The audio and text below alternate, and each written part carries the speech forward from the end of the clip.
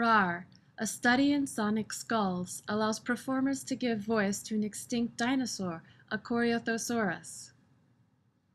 Performers create sound by blowing into a mechanical larynx and resonating its hollow crest. A Corythosaurus is a Lambeosaurine hadrosaur, a duck-billed dinosaur known for its large hollow head crests, which are hypothesized to be used as resonators for vocal calls. Dr. Lawrence Witmer at Ohio University provided CT scans of the hadrosaur, which gave us the shape of the skull and internal organs. The inside of the hollow crests were 3D printed and infiltrated with epoxy with the aid of Carl Sammarco at ASU. The mechanical larynx was created with balloons and brass pipes. To change pitch and timbre, one controls the airflow into the tube and may also pull the strings to increase pitch.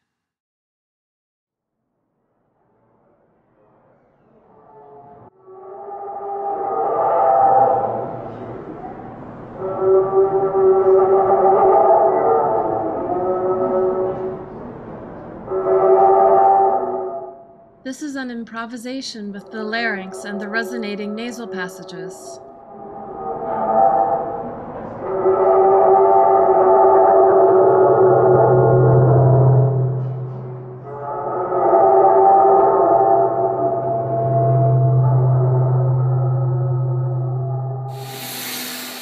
The last step was to create the Corythosaurus skull, which encases both the resonating nasal passages and the larynx.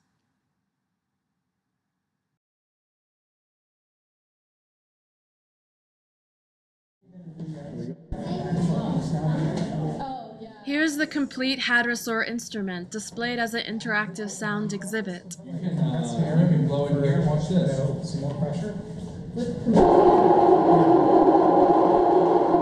Oh, wow, this is good.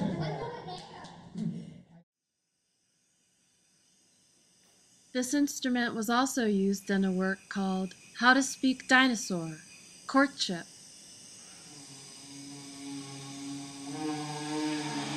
I worked with the tubist, David Earl, to create a duet of a tuba attempting to court a dinosaur.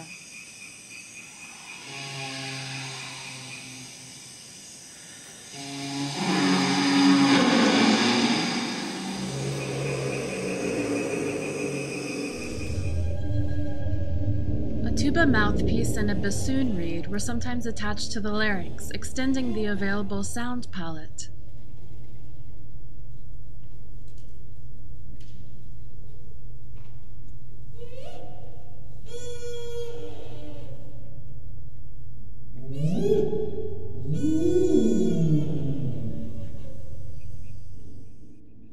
Now working on a second hadrosaur instrument, in which the resonating chamber is hollowed out of the skull to increase resonance, portability, and durability of the instrument.